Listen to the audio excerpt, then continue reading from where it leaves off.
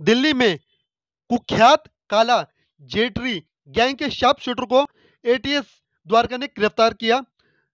DCP Shankar Chaudhary के मुताबिक गुप्त सूचना के बाद द्वारका एएटीएस इंचार्ज कमलेश कुमार के नेतृत्व में एक टीम बनाएगी। टीम ने मुखबिर और तकनीकी मदद की लेते हुए झज्जर रेलवे स्टेशन से प्रवीण को गिरफ़्तार किया। आरोपी प्रवीण, बाबा हरिद्वार नगर में एक व्यक्ति से फायरिंग से धमकाकर 20 लाख रुपए की रंगदारी मांगने का आरोप है। आपको बता दें कि आरोपी प्रवीण शार्प शूटर है और जेटरी गैंग का सक्रिय सदस्य बताया जाता है।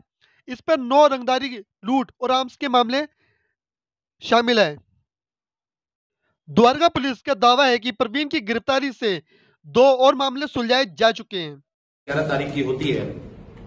तेरह और चौदह की रात को हम इस पर लीड लगाकर काम करते हैं और सीक्रेट इंफॉर्मेशन के बेसिस पर जो पहला अभियुक्त था Iqbal after an exchange of fire जवाबी कार्रवाई में आत्मरक्षा के लिए इसको अप्रीहेंड करते हैं, इसके पाँव में गोली लगती है।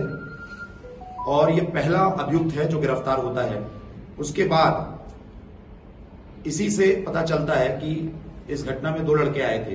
तो जो दूसरा लड़का रह गया था, वो पता चलता है कि काला जठेरी का शार्प शूटर है और उसकी खोज हम बहुत दिनों से कर रहे थे, जैसा कि आपको पहले बता रखा है।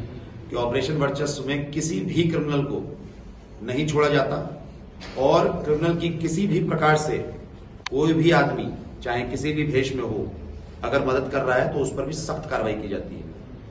अथक प्रयास के बाद दूसरा जो मेंबर है, जो शार्प शूटर है, परवीन अलियास टोन्ना, अलियास जस्सा।